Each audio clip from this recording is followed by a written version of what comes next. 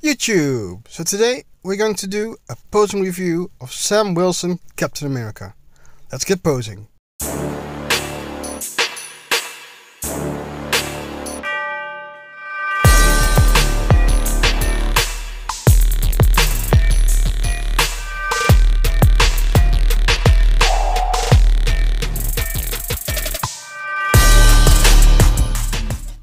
So today we'll try something new. We'll still do poses as usual, but through these poses I'll talk to you a bit about what I think about the figure, especially articulation and the options you get posing. As you can see, in these stoic poses I started showing the head articulation first. First we had tilt up, now I'm showing the tilt down with Sam Wilson looking at a shield. And this is where you can really see the added benefit of having a separate head from the neck.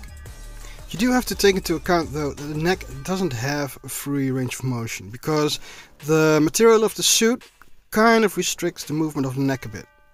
But as you can see, you also have a head tilt. And I tried to show that off by using this ready for action pose.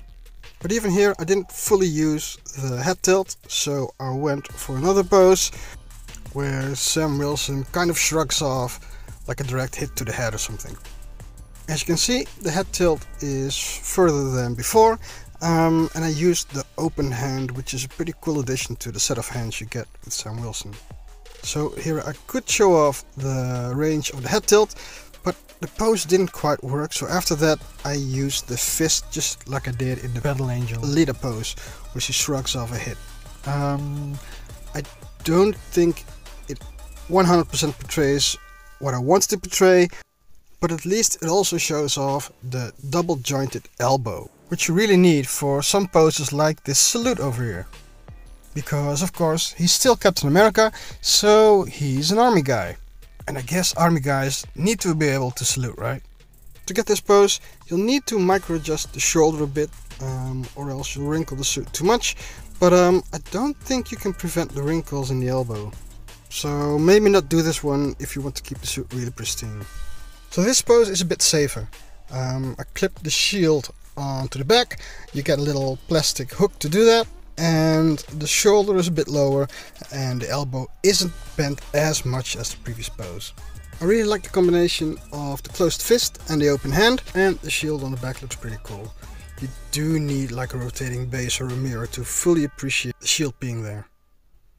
So going from the salute to the previous pose, I extended the elbow even more, which kind of makes this a safer pose than the previous two, as long as you micro adjust the shoulder enough.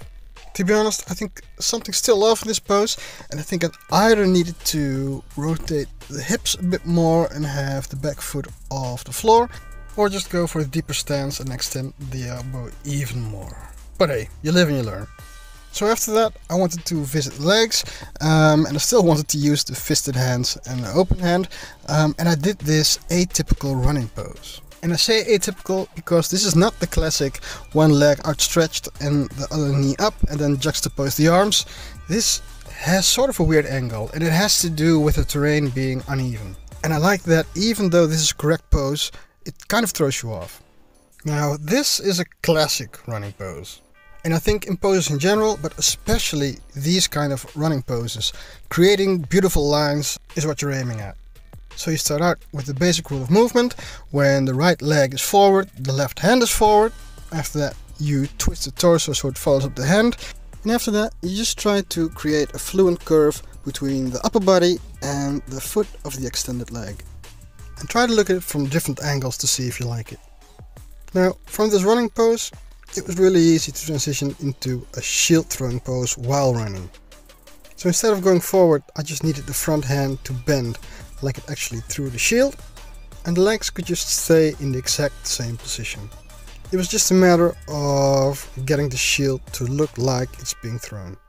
So I used the extended red wing pull and used some metal wire. You really just have to decide for yourself if there's a specific angle where you don't want the metal wire to be seen, which is a lot easier for photography of course. To get back on topic, the running pose was the first pose to explore the articulation of the legs, but of course then I needed to see if he could do a crouching pose. When I took Sam Wilson Captain America out of the box the first time, I actually thought that he would need some modding to be able to do a crouching pose, but as you can see, he can do just fine. So to do the crouching pose, I did pull up his pants a bit, so I just took his feet off, his shin guards off, I pulled up the shins a, a small bit. It's not that much, not as much as with Captain America, and I think he looks quite natural doing this. Now, out of the crouching pose came a couple of other poses, like the Happy Red Wing pose, and of course the hind behind the shield pose. I think it says something about the articulation of a figure if it can pull off a crouching pose this naturally. A lot of times with figures doing a crouching pose, at certain angles it kind of looks a bit weird, either the left leg or the right leg or the flexing hips, um, but Sam Wilson Cap pulls it off awesomely. Even little things like the shin guard and the right ankle tilt and the left ankle extension make it look naturally. Now, if you can do a crouching pose, then of course the ground pound pose is right around the corner. As some of you may know, I kind of have this love-hate relationship with this pose. Because on the one hand, the pose really doesn't make any sense, and if you have a figure that can't really pull it off, it's kind of gimmicky because you have to photograph it from just the right angle, but if a figure can pull it off, it does look badass. Let me know down in the comments below if you think Sam Wilson Captain America can pull it off. Because if it can pull that off, I think then we'll also have to agree that it's a very poseable figure, right? And now that we have poseability figured out, let's add those wings. These wings are so well engineered and poseable and they give you so many options that I just had to do a posing showcase on a bit of music.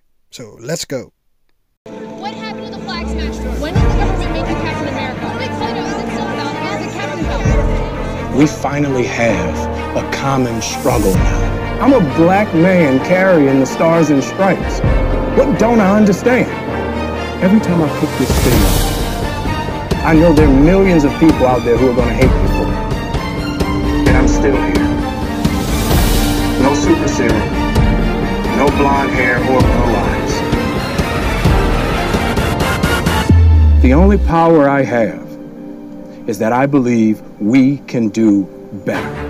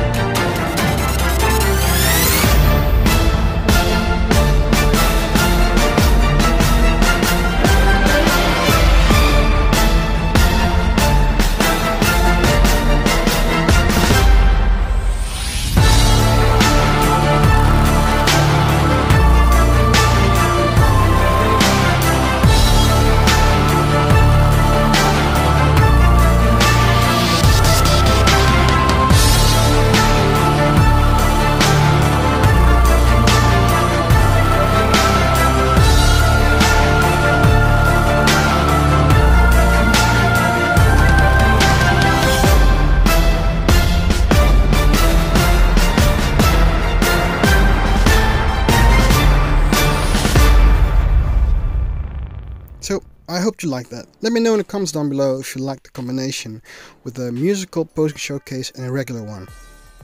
But this is not the end yet. I still have a few poses left and I'll use those to give my opinion on the figure. And I think you already know what my opinion is. But anyway, um, even though I didn't like the suit initially when I saw it in the TV series, I really dig this figure. It's very poseable, it has a decent amount of hands, didn't skimp out on that. Um, you get the iconic shield, the shin guards are awesome, and the wings are so dope.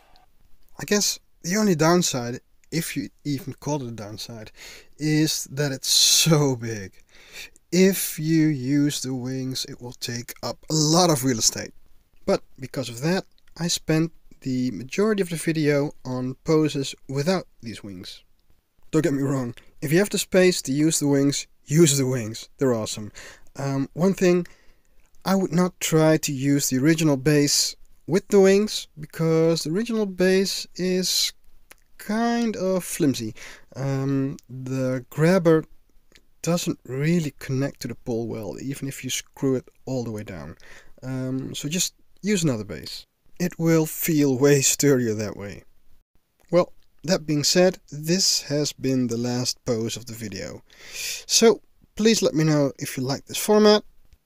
Please hit the like button, subscribe and hit the notification bell. It really helps to grow the channel.